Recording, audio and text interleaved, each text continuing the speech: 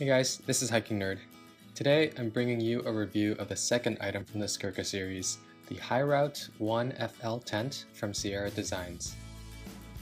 The High Route is a one-person, non-freestanding and double-walled tent that sets up with your favorite pair of trekking poles. The area enclosed by the fly measures 9 feet by 4 feet, which is similar in size to many ultralight two-person tents. Fortunately, there is plenty of headroom under the fly with its minimum peak height of 48 inches or 122 centimeters. This height can be increased by lengthening your trekking poles to raise the fly farther off the ground. In this video, my trekking poles are set to 51 inches or 130 centimeters.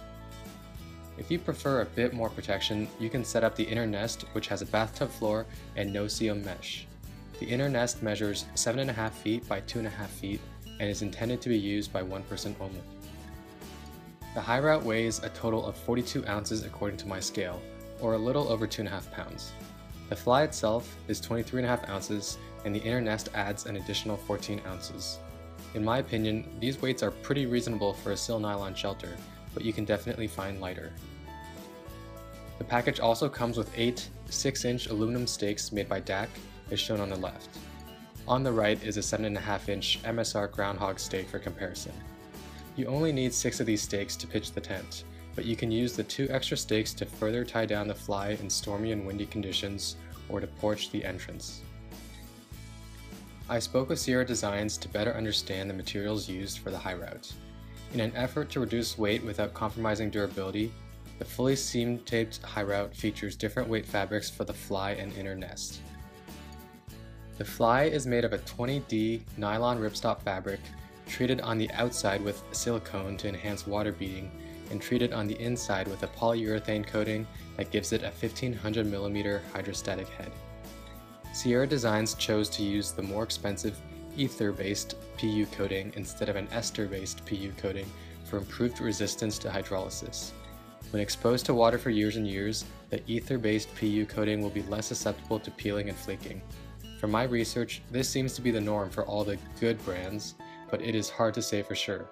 You would have to trace the fabric back to its finisher. I like that Sierra Designs has shared this level of detail with us though. The inner nest is composed of 30D nylon ripstop floor and no-see-um mesh. The floor is treated on the inside with a PU coating that gives it a 3000mm hydrostatic head.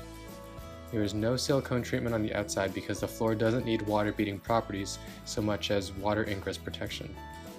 For comparison, the Big Agnes ultralight tents have 1200mm water resistance on the fly and floor, though this seems to work for most people. The guy lines consist of Kelty Triptease for the ridgeline and midwall tie downs, and 2.5mm cordage for the corners. Kelty Triptease is made of a Dyneema core that is sheathed in nylon. Because it doesn't stretch, you can get a tighter pitch that is more resistant to the wind. Also included are line lock guyline tensioners, which may work pretty well for most users. At the time of this video, the MSRP for the Sierra Designs High Route is $300. This is a very competitive price when you consider what you get as far as design, materials, and support. If you use just the fly as a two-person shelter, there is nothing else on the market that comes close in terms of value and functionality. For solo use, there are other options around the same price point, but I think you get more bang for your buck on the high route. During my testing of the high route, these are the things that I particularly liked about it. Number one is modularity. For most of the year, I can use just the fly on its own. However, when I want protection from bugs or if I want a bathtub floor during heavy rain and snow, I can also bring along the inner nest. On dry and calm nights, you can leave the fly in your pack and set up only the inner nest for some enclosure. Number two is interior space. The high route has a lot more interior space than you typically get with trekking pole shelters. This is due to the steeply sloping walls created by the offset trekking poles, as well as the vertical walls on the sides. Also, I appreciate that the tent is 9 feet long, which means there is plenty of space for gear even with two people lying down. If you use this as a solo shelter, you'll be living like royalty. Number 3 is ventilation. There are so many ways to vent this tent that condensation shouldn't be an issue. Even when it's fully zipped up in storm mode, there are two 5-inch awnings for ventilation. I love that I can adjust the ventilation in the middle of the night without having to get out of my sleeping bag. Number 4. The rectangular footprint. It's easier for me to find a rectangular space for my shelter than it is to find a hexagonal space. Also, hexagonal spaces tend to create triangular vestibules that don't fit gear efficiently. Number 5. The symmetrical design. The symmetrical design means that I don't need to worry about the tent's orientation while I'm setting it up. If the wind changes direction or if I want the entrance to be closer to my feet instead of my head, I can get out from the preferred side.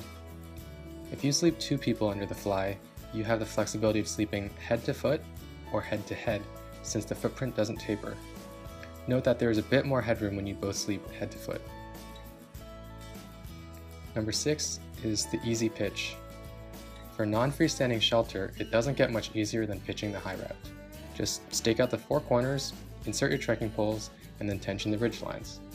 The best thing about it is that in the event of rain or snow, this pitches from the outside in so the interior will be completely dry. All tarps have this functionality, but many freestanding tents require either the body to be pitched first or a ground sheet to be laid out to pitch the fly.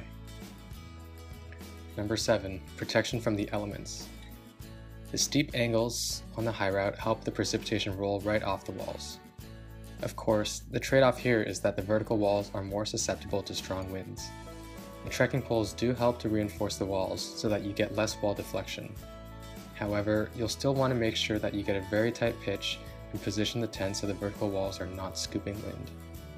The predetermined catenary curve helps with a tighter pitch, and I'll usually carry two larger stakes that provide more holding power for the ridgeline. Number 8. Night Glow.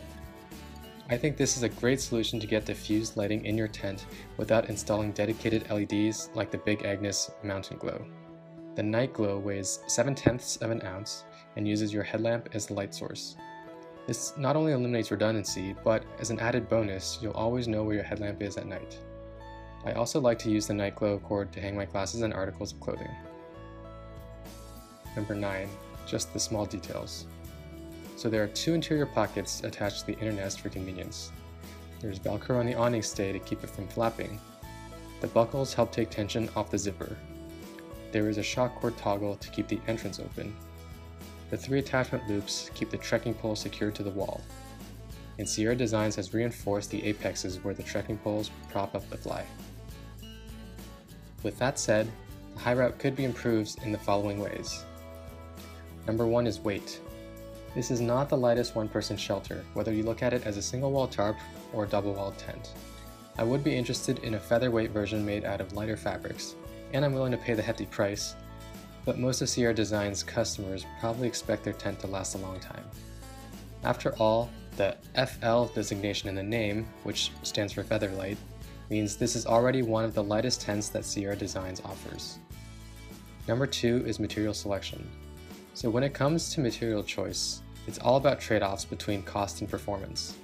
Not everyone will be happy with the fabrics that Sierra Designs chose to use on the fly and inner nest. For me, I found that the no-see-um mesh is delicate and snags on Velcro. So far, the damage has been cosmetic, but I've used other lightweight, no-see-um mesh that isn't so easily damaged. Also, I'd love to see the high route made with a sil poly fabric that doesn't stretch compared to sil nylon, but few tent manufacturers seem to be doing that at the moment. Number 3. The inner nest setup. Setting up and taking down the inner nest is, for me, the most painful part of the pitching process. The hook and ring attachment method is tricky to do from the inside of the tent. I usually end up having to crawl on my stomach so I can reach the small plastic ring in each corner. When possible, I would suggest attaching the hooks from the outside of the tent. Number 4. The line lock adjusters. I understand the need for an easy to adjust guy line system for the mass market, and granted, these line lock adjusters work better than other guy line tensioners I've used. But I like to have a tight pitch, and it's hard to put enough tension on the guy lines with this system. I would recommend getting rid of the plastic hardware and learning to adjust guy lines using a system of knots, as it will allow you to benefit from mechanical advantage. Andrew Skurka has a demonstration video using the high route, which I'll link to in the description below. Number 5. The color.